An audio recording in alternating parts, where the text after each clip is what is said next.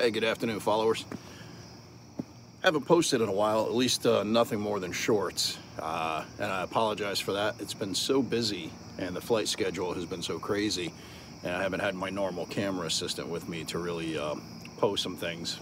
Plus, a few things I've been working on with my camera person that I normally do have have been stuff that's project based that we've been kind of working on putting together in segments.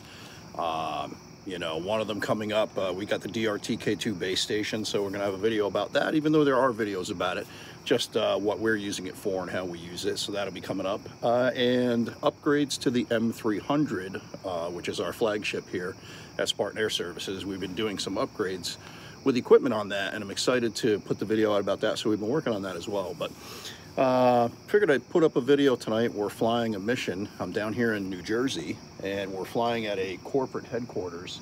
Uh, so I'm in an actual office park that's owned by a single company and they have their headquarters buildings here and they're uh, very large uh, multi-floor again corporate style buildings and we're going to be doing a roof inspection for them so we flew RGB mission already during the day we're going to be doing the thermal portion of flying those buildings, obviously, at night. So waiting for, uh, you know, the proper time to put the bird in the air. But I figured to do a video on this one because it does highlight some of the challenges that you'll have in the field you know, when you're flying for clients, you know, everything isn't always perfect. And I see, I follow a lot of groups on Facebook, uh, which I enjoy very much. I'm not knocking it. Um, but there's a lot of posts about people get on the job site and they have an issue or they they come back and they say, well, I ran into this or I had an issue with this or, and there, at least from where I sit, it seems to be this idea that you're going to get a drone and you put it up in the air and you make money.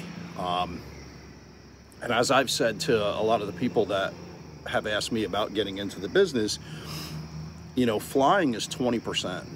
80% is all of your prep work and you know, training, it's dealing with, you know, all of your computer management, your file management, you know, your your processing, you're getting the deliverables ready, talking to clients, shaking hands, doing sales calls. I mean, 20% is flying. There's there's no other way about it. For for some jobs and some months I go through 10% of it's flying. I mean, it's just crazy. But that 10% to 20% of flying has me so busy and the other stuff has me beyond busy. And I think that that's one of the things I've seen is that, you know, when you sure look at Facebook ads and you see the different schools out there hawking the 107 training and, you know, pay 300 bucks and get a drone pilot's license, you're going to make money, you know. The problem is, is there in between getting your drone pilot's license and making money, you know, they make the space look that big, but the space is, is, is bigger than you can stretch your arms at. It's like a universe in between those two points. And they don't talk about that, you know, so figured I'd put a little video up. What I'm facing here tonight, and I, I end up flying in highly complex environments. Uh, as a certified thermographer, uh, you can count on it. Okay, I've, I have, I can't remember the last time I went out and flew a job where it was like, you know, one, two, three Actually, let me take that back. I flew a job like that the other day, but it was five photographs. It was just a real estate job. I don't do very many of them because they're the lowest paid tier jobs out there. But it was right by my house, and I still do some third-party flying for some companies, and uh, pretty friendly with the one company. They called me and said, "Hey, you know, this is like right by your house. Could you think you could fit it into whatever else you're doing?" So that was actually easy. I put the bird up. It was you know, I had no restricted airspace. So it was a delight to fly that. So I did some cardinal images. I did a nice big image of the front. I flew a panoramic video and I was done. And, you know, it wasn't a killer. I got 90 bucks, but you know, that's about the minimum. So it's one of the other posts that I see too. Uh, guys complaining about third party companies and the low pay a lousy pay. You know, if you take a $60 job, that's on you. Uh, you can't complain about it but then go do it or go do it but then complain about it whichever order you do it in you know you you you if you took it you know i mean that's it and if we, we, guys keep taking those jobs those jobs are going to keep coming up on the market because someone is doing them you know so I, I as a matter of course don't do them okay but 90 bucks it took me about five minutes to get there i was on site for 15 minutes and then I was back home. So that's my minimum. But anyway, my complex environment, and you can hear it, what I'm facing tonight, that's a Diamond DA20. It's just off camera, but it's right here. It's on a downwind leg. I am a half mile away from an airport. But this airspace is not restricted. I don't, I went into LAANC, I checked it out. I don't have to do anything. This is clear airspace. But again, very close to this airport. And even though it's a very small airport, it's a very busy airport for general aviation. These guys are flying a lot. And that is a student aircraft. So, as soon as I saw that, and depending on what aircraft you fly, what camera that you're going to use is going to dictate the height that you need to fly at for your thermal. Okay, now this particular mission, the parameters, which I know very well, you know, being a certified thermographer, I have to be 111 feet above my target. Okay, and these buildings are five stories high. So that's 111 feet on top of that five stories. So that's going to put me up there a little bit. This downwind leg, it depends on their altitude, but I felt it was pretty close. So even though I don't have any restriction I can fly here, I called the airport. I spoke to the people there. And they were actually very grateful because the one guy said, you're about the only drone pilot that's ever called us. There is no communication between drone pilots and us, and we've had some issues here at this particular airport.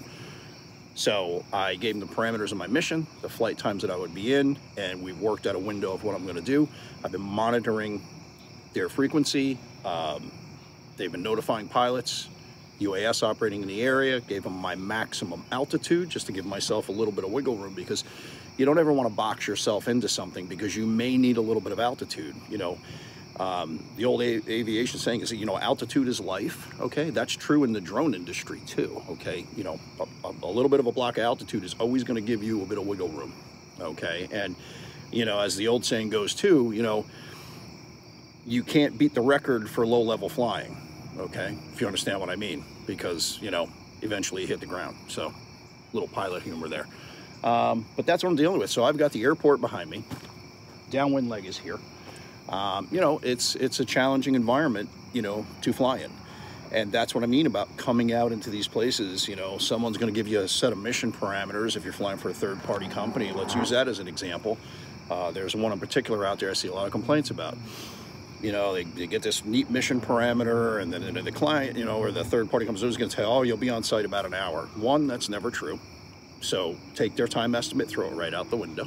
Okay, two, okay? It's never as smooth as easy. To give you that little thing, airspace, clear. Okay, maybe, maybe not, okay? I got a sky full of airplanes and helicopters here. So, yeah, and that's the other thing. I have the airport there, which is operating fixed wing and helicopters, and I also have a small heliport off to the other side, about a mile away. So, um, you know, and for some reason to boot, there was a major newsworthy event a couple of miles away because I had news helicopters operating over there for a few hours and transiting through this area to this heliport over here to get fuel, I'm, I'm imagining. So, but just wanted to put that video out there, um, give you guys an idea of, of what we're looking at and what we're flying today. You know, my trusty M300, uh, we're getting her ready. As you guys always know, anytime I'm flying at nighttime, radar goes on. H20T quad, right? Always whole bunch of gear with me. Um, you know, my batteries, extra chargers. Uh, just got the new TB65 batteries. I'm really excited. I've flown these a few times. Definite improvement. Always have the Honda generator with me. Some extra gasoline. My toolkit. You know, sometimes you got to tighten things up on an aircraft. Things do come loose. So, um, but that's basically it, guys. I am going to get myself prepped. I have to uh, get the camera set there. I got to make up my flight plans in Pilot 2 now. I'm going to fly this in Pilot 2, and we're getting toward the time that I can kind of take off here. So that's pretty much it. We're going to do this thermal, and if you like, I'll attach a few images to the end of the video for you guys. And uh, yeah, other than the air traffic, this is really great flying conditions. Um, I'm basically kind of out here in the countryside, even though I'm in an office park. Uh, perfect humidity for this job too. With thermal, remember humidity plays a factor guys. When you take your thermal training, you'll see how that comes in. So uh, right now my humidity is well under 60%, which is actually pretty dry if you think about it. So I'm pretty happy there. Um, all of the other, you know, weather, not a factor, wind, not a factor. So I'm gonna have a really excellent flight over these very large buildings tonight. Looking forward to it. Flying the M300 is always a dream. Uh, and look out for the upcoming videos. Hopefully they'll be dropping soon. The modifications to the M300, some exciting stuff um, that I've been testing has been working out really, really great. So, uh, you know, the M300, uh, great aircraft, even though the M350 is out there. Uh, to give you guys a little spoiler alert, I'm kind of making an M300 M350 hybrid, if that makes any sense. But anyway, let's get back to work. I'm gonna get this off the ground. I'd love to give you guys some video of me doing it, but my uh, cameraman not around. So again, appreciate all of my subscribers. You know, you guys following me. Appreciate all support, and I always love the comments. So if you could do me a favor, just like, um, comment if you like. Uh, subscribe, it's free as they say, but uh, definitely like, it does help the algorithm. I know I'm not trying to get rich off this or make any money, but uh, at least like my videos to be seen. So as always, I extend my best wishes to you and your families. Stay safe, stay healthy. All right, guys, the bird is ready. She's up and running. All the systems have been checked. And because I'm flying in airspace with other aircraft, and the remote is warning me of that every two seconds, we added additional lighting onto the aircraft. So we have CIMIC forward and rearward facing FAA approved anti-collision lighting added to the factory top and bottom anti-collision lighting that's going. And as you know, at night I fly full radar. All systems checked, props checked, everything double checked and tightened, and we are ready to go. We are getting there. This is a gorgeous night for a beautiful thermal flight, guys. I'm excited. There we go, huh? Nice whole parking lot. This is an empty parking lot that they gave me. It's the maintenance parking lot. They gave me this to use for operations today, which is really nice. Uh, really nice customer. These guys really uh, take good care of me. Here's the taco. And uh, yeah, so we're ready to go. A little quick shot of my day here, guys. Back to you with some of the thermal shots at the end of the video.